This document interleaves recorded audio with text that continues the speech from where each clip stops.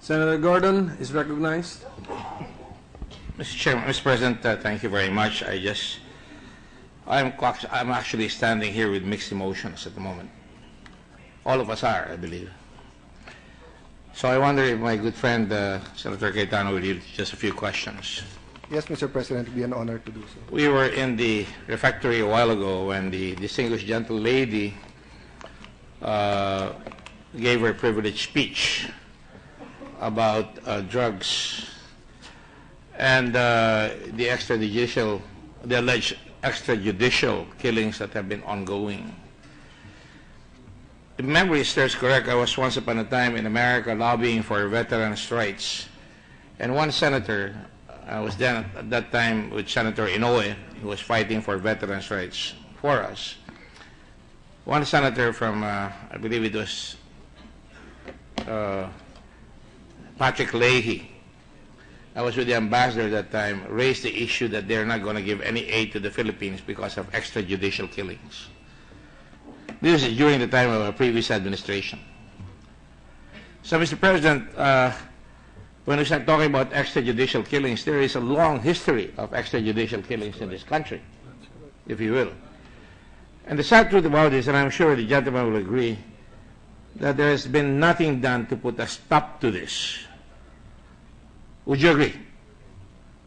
There's been little done. Thank you. Upon the other hand, we are talking about impunity versus impunity today in these very hallowed halls of the Senate.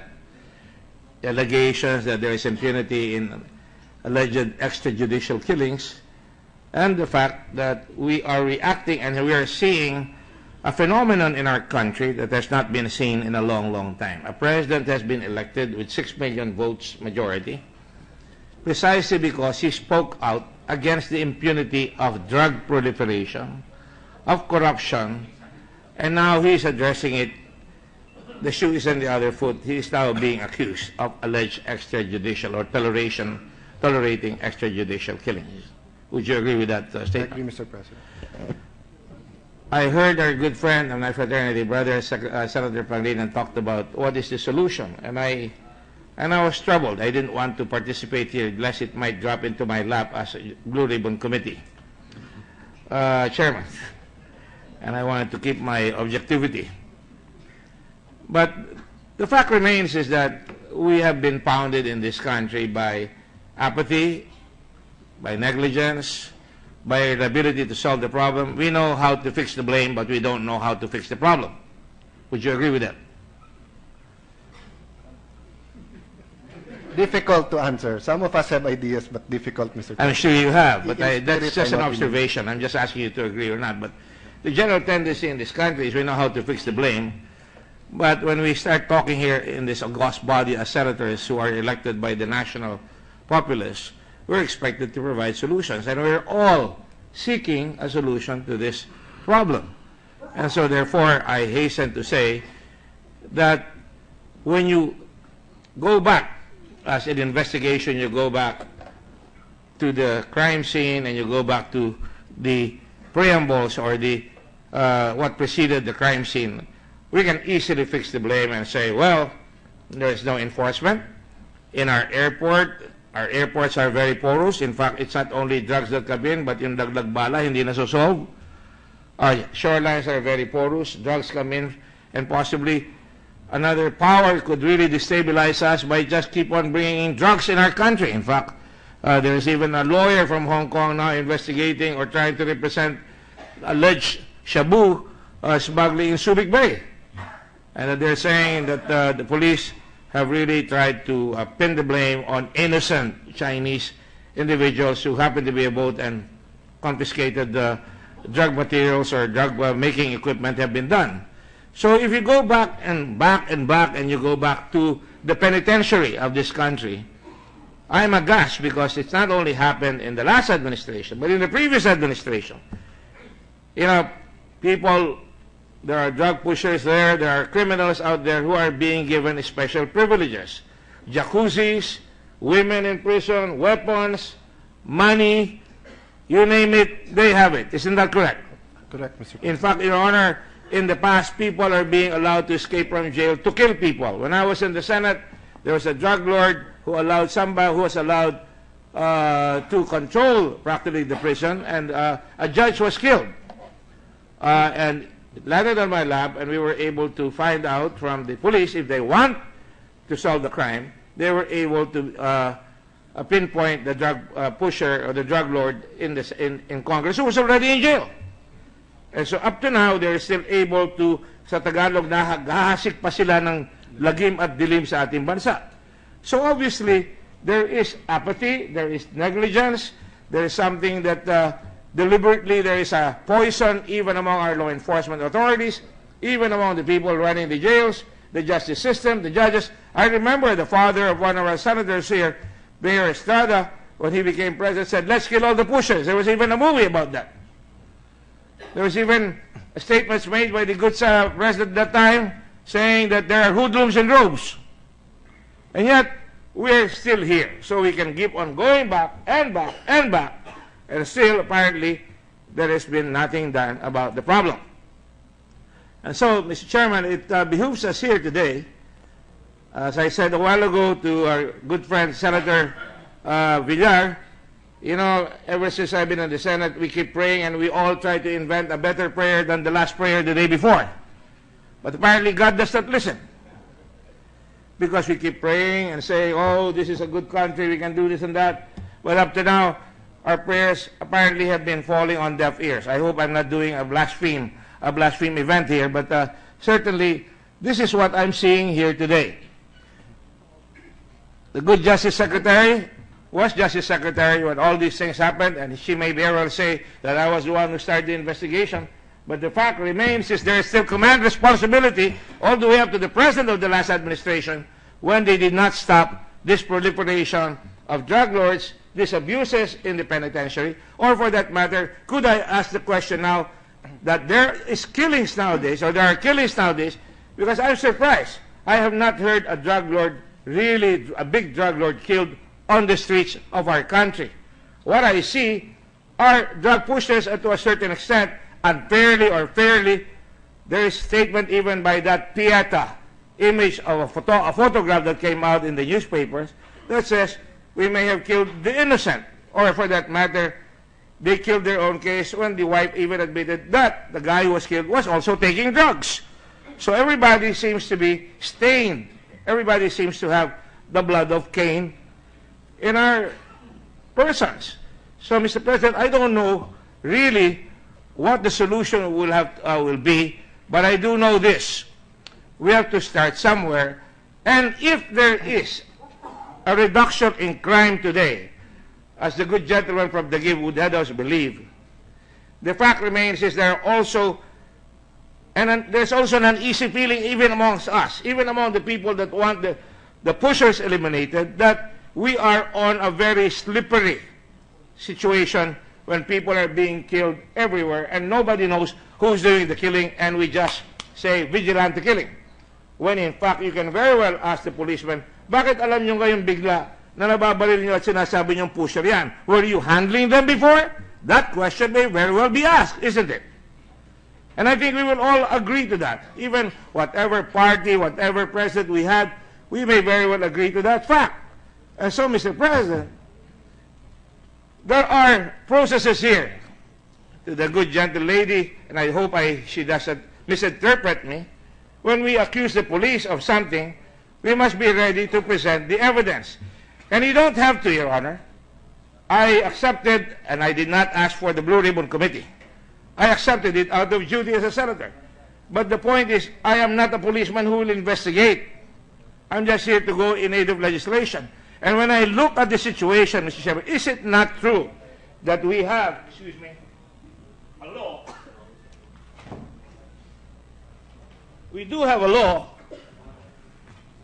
Republic Act 8551, that when a policeman is involved, when a firearm is discharged, there is that automatic provision that automatically an investigation must be conducted by the Internal Affairs Service, not by Human Rights, not by the Senate, but by the Internal Affairs Division. We crafted that law here. I was not part of it, but it was crafted before me. Is it that right?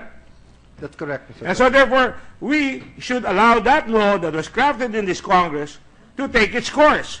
For example, we don't have to go far, Mr. Chairman, Mr. President. When a policeman is involved with somebody who's already in handcuffs and a firearm is grabbed, there is a smoking gun right away. No one is going to believe that a guy, especially in this atmosphere where people are being killed, maybe it can go 50-50. The guy says, I'm going to be killed. I may as well have a chance where he grab his gun. But upon the other, when there are three policemen holding him and in his handcuffs, it is unlikely that he would grab the gun. And so therefore, he would be killed. Isn't that correct, Mr. Chairman? Yes, Mr. President. So you see, Mr. Chairman, where is the Internal Affairs Services in this picture? Perhaps that is the question we should ask. Perhaps we should ask the PNP head by the name of Bato or Colonel De La Rosa na not to be Bato in coming out with an investigation. Not to be niggard, not to be kuripot in coming out with an investigation, that in these areas where there is a chance to find out whether the policeman had properly discharged their firearm or killed somebody, that he has to explain and that immediately there must be a report. And that all these vigilante killings must be investigated nonetheless, and we should not just, uh, you know, uh, wipe our hands clean of it. Upon the other hand, I cannot help being a victim of crime myself to realize that my own father was assassinated by a person who was allowed to escape from prison and then was going to be brought back. And that is why I cannot go on either side of the coin here. I tend to agree that siguro dapat talaga out of desperation, the people of this country is willing to look the other way just to get rid of the problem. In the and same I'm not look, ready to look at the other way to say we will have the death penalty when in fact I heard here instances where we say there's very little judges, there are very few fiscals, and the investigation, and you, I heard you say there's only one additional crime laboratory that is now going to be added, and that is why I worry about the death penalty. I'd rather have that guy in jail rather than make a mistake in the investigation. And this is exactly where we are today. We are dealing with incomplete scenarios. But it is our duty to make the law work. To let this Republic Act 8551 come here. I'm not going to advise my good friend Senator De Lima that she is out of line, but I think it might be premature. And forgive me if I may say that, because unless you have evidence, and you're right, some policemen may be doing their job, some policemen may be taking advantage of the situation, eliminating these pushers, but it is the right of the Senate also to say, where are the drug lords? That is what we want to see.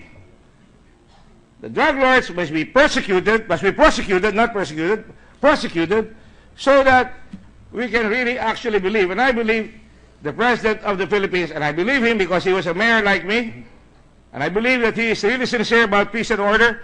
It is an act of national desperation, that which is going on. That when our children are afraid, you know, we're recommending traffic, for example, be solved. I'm recommending that many of the people who own cars go take school buses. But I am ready to say we must have police or marshals guard the school buses so we can convince them. Because parents are afraid their children could be waylaid, given drugs, and the whole cycle repeats itself again, a curse to a family. So, Mr. President, I just would like to add these points into the discussion. Perhaps it's important, and I would like to uh, acknowledge the, the position of Senator Cayetano because he gave us points of view that are important.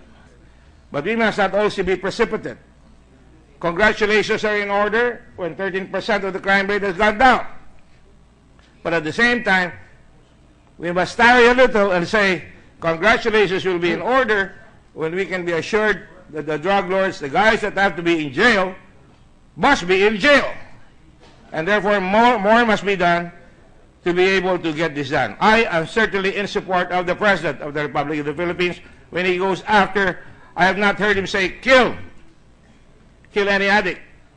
You know, I'm a mayor, and as mayor of a local city, especially a tough city like Olongapo when I was there, or Davao City in the case of Mayor Duterte, you will forgive, and I will address my good friend, the Human Rights Commission. You know, we are also allowed excesses in our language. We have to tell the public that, hey, we're going to go after you hammer and tongs. That's part of the psychological warfare which we do. But it doesn't necessarily mean that we're going to condone killing. And that is why it behooves all of us here to find the necessary solutions, Mr. Chairman, uh, Mr. President, to this problem. Not just to talk about it, and it's good to talk, because we are here to find solutions, not just fix the problem. And so, we thank God in this prayer that we have senators who can still stand up here on both sides. The other side represented by Senator De Lima, concerned, and the other side represented by Senator Cayetano, who practically right now is listening to the voices of the people saying, hey, there must be a solution. It cannot be just all rights. There's got to be a concomitant duty. And that is why, in the next constitutional convention or constitutional assembly, I will aspire to put in a, commi- a committee on duties and obligations of citizens and not just a Bill of Rights. Thank you, Mr. Chairman. Thank you, Mr. President. I hope I did not Thank you. tax your patience by delivering that long discourse. Mr. President, Senator I'd just like to assure Senator Gordon that the drug lords are also being addressed.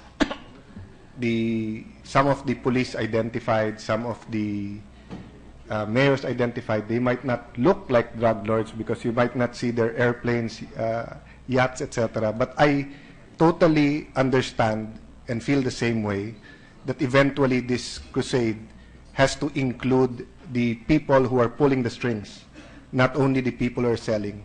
But let me say that this is phase one, and getting the drugs out of the street um, is much easier if you go uh, against the pushers underneath. To balance that with the human rights, as lawyers, all of us here were taught that uh, it's better to see 1,000 guilty free, 1,000 guilty people go free than to unjustly Kill one. jail one uh, innocent person or kill one innocent person. But may, may I just remind our colleagues, when this famous quote, uh, as this famous quote is being repeated, when it was first said, there wasn't synthetic drugs yet eh. Wala pang shabu eh. Di ba? So it is still valid and we should still follow it. But let me amend it in this way. While we try to, to uh, put the 1,000 guilty in jail or bring them to justice, and why we try to avoid that even one be falsely accused, every single day there is one innocent being sold drugs, mind being distorted, mind being destroyed, lives being destroyed. So, in, in an ordinary crime, karnaper ako, senator ba may-ari ng, ah, ng ah, kotse, it's easy to say he's innocent, I'm guilty. But in the crime against uh, drugs, every victim is an innocent victim, you know, that we cannot ignore. So let me stop there and thank our colleagues for arguing passionately, and maybe we can find a common solution, Mr. President. Let me just state, Mr. Chairman, with your permission again, Mr. President, that I am not a critic of the President at the moment. But let me just state also that the President has taken a huge step that no other President has done. That is to identify five generals, whether fairly or unfairly. It sends a huge signal that nobody will be exempted. The very fact that mayors, as we saw in the refectory a while ago, and his son are being presented before uh, television is, I think, very important because we're dealing with the perception of extrajudicial killings, but also dealing with the perception that big fish, like generals, are now being accused by no less than the President of the Republic of the Philippines, which is a good sign, at least as far as I'm concerned, with all due respect, for democratic principle or democratic rights. When those five generals were unmasked by the president, I heard, and I'm not going to call them bleeding hearts, there's some of them were saying, hey, you violated the rights of this general. My God, you know, I authored the plebs as a mayor, and I said policemen have an extraordinary amount of power under the social contract theory. We provide you with firearms, and when you use those firearms against the citizenry, we have the right administratively to have you suspended, even expelled, and pending appeal, you lose your job. In the same manner that you quoted chapter and verse the Georgian president who removed all the policemen and told them to perform their duties so that they can come back. And that is the point that I'd like to make. There is an effort, lest I be misunderstood right now, to address that problem. And the president has caught I mean, many of us want to be president of this country. In this, uh, they say there are 24 presidents here in this chamber. I'm sure uh, that is not far from the truth. And uh, I will not be a hypocrite, but I can tell you that as far as I'm concerned, when the president of the republic unmasked five top generals and say I'm laying it on the line, and two of them are going to be charged according to the National Police Commission, and I hope it goes on. That will be a great day in this country. And I'm put, I'm pretty sure that nobody, including congressmen, senators, or even cabinet members, or governors and mayors who are involved with drugs, will be able to sleep nights because now people will know that it has been done to the big guys, and therefore it's a time for the poor to have their day in court and to get justice. Thank you very much.